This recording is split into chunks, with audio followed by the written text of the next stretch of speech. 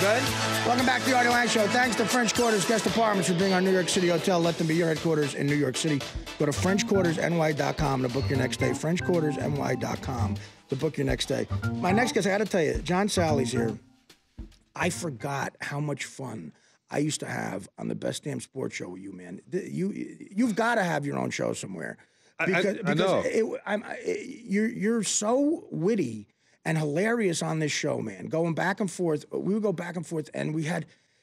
You got to Google it because I think I did it like five times. But there's a, we're in Vegas a- at one point. It's 200 degrees and I'm melting. Mm-hmm. and I, anybody else would have been offended by this, but you you like went went with it and made it one of the funniest things ever. You were worried I was going to pass out, I think, and you just started wiping my brow, and I pretended to be like a slave owner from the. And I said, "Yeah, John, I'm you know, wipe my brow." Jalen Rose was there, was so offended. He's like, "Nah, nah, I'm not." I'm not. You, like, you just went along with it. I mean, uh, this is the, the craziest thing. One, you were going to pass out, going like and you know, you know, uh, us Africans have way more uh, uh, success in the hot weather. You might have saved my life, actually. I, all because I wanted to get back on the show. You know, and I wanted a new show, but then I started thinking, and I got to tell you, you know, I've been watching you, and I uh-huh. just watched you. You've really gotten so much better at this show. You knew you you you you. I think you're on time. I think you got here like four oh, minutes before oh, you're supposed to be here this yeah, time. This is what it, this is what it's about. At least four. Yeah. No, but I've watched I'm like you, Dean man. Martin. I don't rehearse. I just put a tux on. Yeah, he oh trust me, that was rehearsed. And that Dean Martin interview you made, Deana one is beautiful. Oh yeah, she's Uh, gorgeous. yeah. and and but you made me love that interview, and I Right. loved the Rat Pack. I loved everything about that Yeah, era. you know, you you you asked the question that I should have asked. The, the Puff, Puff Daddy is clearly taking on the whole thing with the commercials. I think it's more like he doesn't have to. He doesn't need to, to make any more money. I think he just likes fooling around with it a little bit. But it's funny. He's got more Dean qualities than. Frank. Yeah. I know he probably wants everyone wants everyone wants to be Frank. Well, it does, but Jay Z said he's the Frank Sinatra of, I of think hip hop. Jay Z is more to Frank, and Right. P Diddy's more the laid back, like hey, because Jay Z's more intense. Uh huh. And P. Diddy's more like the go rascal, have fun. I mean, still take care of your business, obviously, but which Dean Martin did too. Yeah, what do you think he would think about that? I think uh, one, I love that he did it because it's the only place to go to it. You go from wearing hip hop clothes and jeans and Right. sagging and a whole lot of because he will also put his his grill in his mouth Yeah. and put his chains on and his fur coat. Uh, but the brother was on you know the Forbes list this year. You you had five hundred and twenty six million dollars from people drinking. What are you going to do? Yeah. Hey, you know I'm trying to drink that next. Give me some Ciroc. No, he's just he's just a great businessman. Like, and Jay Z is too. Yeah. Uh, and uh, that's funny if they went down that route. Uh, See, Jay Z is such like Sinatra. I just don't think he's interested in even doing that. No. And and uh, oh, he says it in his tunes. He's got in that song. He's I'm the new Sinatra. Yeah, and it's so funny. You called it tunes and you call him Puff Daddy. You're so old. I, I am. I know I am. You're older than I am. And again, Um, I know. Just let me hear you snap your fingers. Let's get it going, brother. See, and you always look good. I was too. so ex- uh, so excited to come uh, to the show. And Yeah, I I, I asked, can I come on to the show? Just letting everybody know this is not a booking. I asked to come on, and I have to give you some. Thank you. I have to give you some uh, some news. So when I was on the show the first two or three times, Yeah. and I was walking around like a um, like a gypsy, selling everything. How much? How much? Give me five dollars. Right, right. Okay, right. three. It was funny though. Right, I was doing it. Now Vermax is number one in the in the category, and all the other things It got should be. taken off because they were all fake. It should be. I'm They were sure they all were. fake, No, listen, and, this I'm one winning. isn't. Okay, Yeah. we got to take a break, but I'm going to say I, I've used it, and uh, well, I'm dating Carmen Electra. That's all I'll say. back after this. Welcome back to the Artie Lange Show.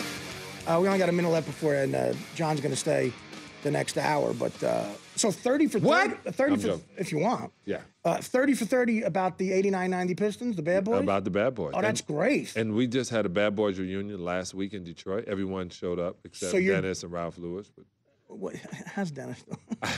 we don't know. We heard he was in Argentina. Do you know through the Stern I think show? that's what they call North Korea now. through the Stern show, I, I developed kind of a personal relationship with him where he called me a couple times, 5 a.m. in Vegas.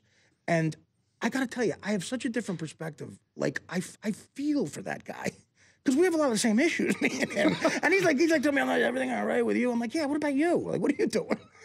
but this is the, this is the crazy thing. Um, he keeps. This is what I said. They said, "Man, Dennis is going through this and this part of his life." both of you are probably going to live longer than George Burns.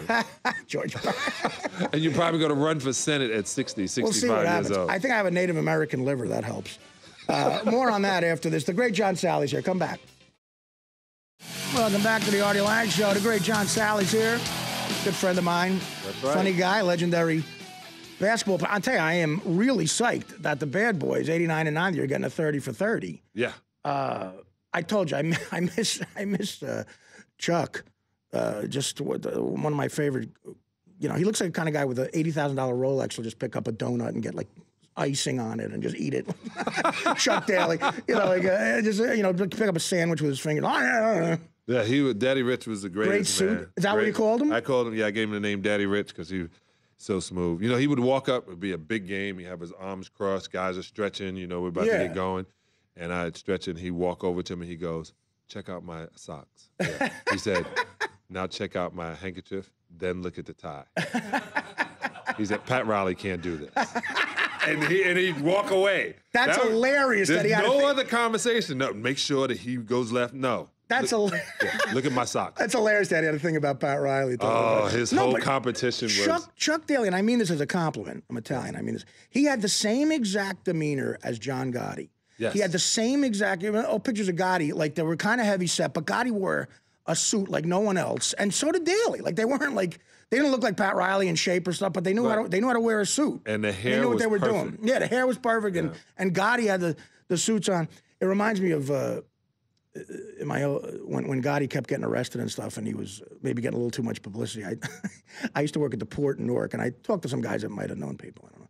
And I said to him, I said to this one guy, I said the funniest thing. I said, "What do you think about Gotti? What's going to happen to him?" He goes, "Someone's going to ruin a great suit." he said to me. But hey, the guy he sort of won. He died in prison.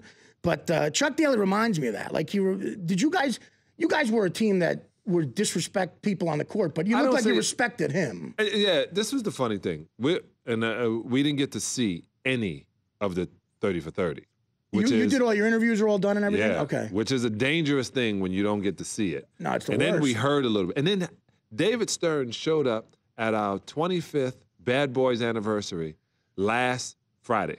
When he showed up, we all looked at him like, "What is? He hates us. What is David Right, doing here?" right. But then we got the truth that our name Bad Boys came from him because we had the first DVD and they put on there 1988 Bad Boys because he Uh-huh. we were we weren't agreeing with the way everything was going. Okay. So Well, he you gave were us the name. You were the team Jordan couldn't get by for a Right, while. right. Like, and it's so funny how that was when Jordan finally beat you guys. That was considered the finals, even though he had Magic and the Lakers. Magic was older, but it was like you know, na they, they treated that like we won. We beat the Pistons finally. and they did, Yeah. and it was their championship. And I remember uh, Isiah tells stories, man. When you see this, you're gonna one. We changed 25 rules in the NBA. yeah. Oh, So, really? Yeah, 25 rules have been changed because of. Because of Rick Mahorn. yeah, and Dennis Rodman. Like you can't, Yeah. you like you can't look at. No, remember this. Um, Isiah gets a call. He looks at the ref. He throws his hands up. He goes around. He sits on the floor. Yeah, He gets yeah. up. He walks around. He crosses his arm like a little baby. and they'll get the next call. right? Right. You look at a referee side eye right now. I know. you are getting a technical. Yeah. Well, even if well, even LeBron, there's there certain players that run the league though. No, if LeBron looks and says the wrong thing, because look what they did to. They started with uh, what's his name? Um, uh, Duncan looked at Oh, looked right. at the referee the wrong way. Joey Crawford. Joey Crawford said, "You don't look at me like that. Here's a tech." And to give that What? to Duncan, Duncan's a liked guy. Yeah, know, you know. man. He's he's a quiet guy too, man. I was in that Where do locker you room. put with him? People never. I mean, God was that guy dominant. Like, where do you put And he him? in still the, is. I mean, Um, the top ten ever. Does he make that or? It's just that he doesn't talk. He doesn't. This is what happened. He has the Kareem Abdul-Jabbar curse. He's the most talented person on the on the court, Not but that's guy. that's all they see. Yeah. They only see the fundamentals. They don't see any pizzazz, any any mustard on it, Yeah. which doesn't need to be. And they're going to put him as all right, great player, go over here. Like you never hear about David Robinson. You That's never right. hear about yeah. Akeem He Olajuwon. just sort of went away. Yeah. Yeah, and yeah. and these guys were great players. Akeem too. Yeah. Yeah, in the top 50 too. It's just the way they want to market. Well, the market language barrier is hard with Akeem to become America's sweetheart, I guess. But you know, that kind of hurts. Yeah. But uh, you know uh, that. I'll tell you, the most frustrating thing as a Knicks fan, I went to go see you guys play the Knicks, and I think it was '90 at the Garden. All right? Mm-hmm. and uh, I bet the Knicks. Obviously. Here's what happened. Yes. You Th- obviously this was is on why drugs. this is why you guys were unbeatable. Uh, Isiah would call a play, run a play with him. You, you, you guys would miss the shot. Dennis Rodman would grab it, dribble it two times, and hand it back to Isiah. Then you'd run another play. Exactly how it works. Then Isiah would miss another shot or something. you would you would you would grab a rebound or kick it out to somebody. Rodman would dribble it to the hand it to Isiah. You'd run. A, you would run like 18 straight plays, And you- and- and and, this then and then eventually you'd hit a, a this basket. is this is why you're so smart. Most guys didn't realize. Most guys would have grabbed the offensive rebound and try to put it back in themselves. right. They just said, "Let me go. I'm gonna go run a play. We're go- going to run another the clock." 24 Yeah, seconds yeah, to get you in foul trouble. Yeah. Make you play defense. You watch football. The more the defense is on the field, the less you can win. That's why it wasn't just brute force. You guys were a smart team. Yeah. And Daly was a perfect coach for you guys. Yeah, and he would say the things like, uh, "You get hurt." He looks at you, and and it was one time I twisted, I got hit in the knee in the New- York, and he walks halfway. He goes, "Can you go from a distance?" Yeah. I go, "Yeah, yeah, five minutes." He goes, "Put spit on it. You only got five minutes." That's it. Like if you can't go in ten minutes, I'm going with somebody else. Wow. And and it's and this is the deal. And If that team was hurts- deep, too. Oh yeah. Yeah. If it hurts, it just better hurt later. Right. it can't hurt right now. The Artie Lange Show, weeknights on Audience, only on DirecTV.